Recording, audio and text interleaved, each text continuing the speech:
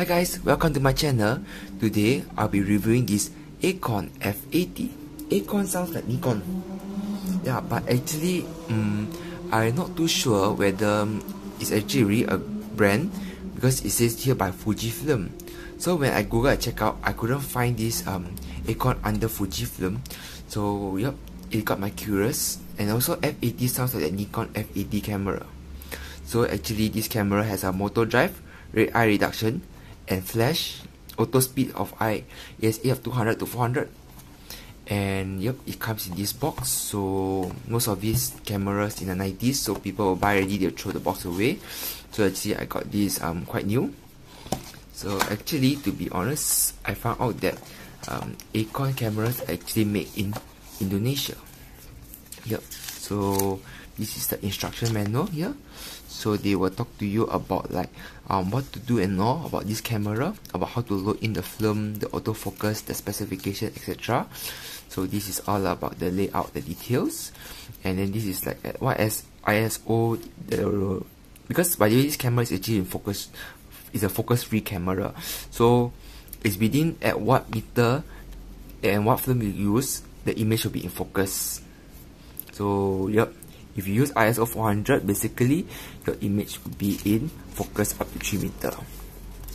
And yep and also there's actually um date back as well. So you can choose your date. And then the specification will be here.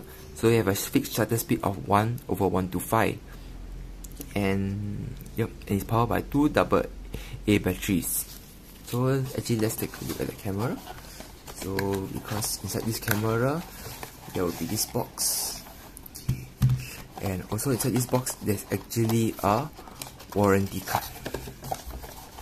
But because this warranty card shows that it is from Indonesia yep because it says here it's from for Indonesia Aikon cameras. So yep it's pretty rare to actually find a um, camera that still has the warranty card here with the serial number as um, 40391 yep and then this is the pouch for the camera.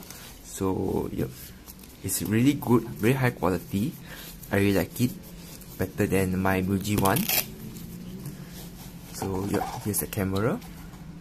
So uh, to actually turn on this camera is that you can see here this is now closed. So this is open. So you just slide this button from the right to the left.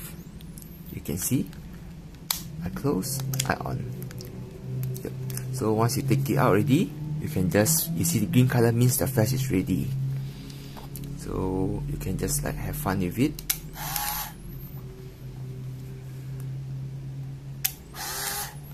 So yep, this is by this is a rewind switch. So once your um, then here's a film counter here. So once you reach up here already, this camera does not have auto rewind. Yes, I just want to emphasize again, it does not have auto rewind. So you have to manually slide this down to rewind the film. So other than that, hmm, so yep, it's to slide upwards here to open the gate here because there's now no film inside. So it refuses to rewind because you need to be up to 30 plus.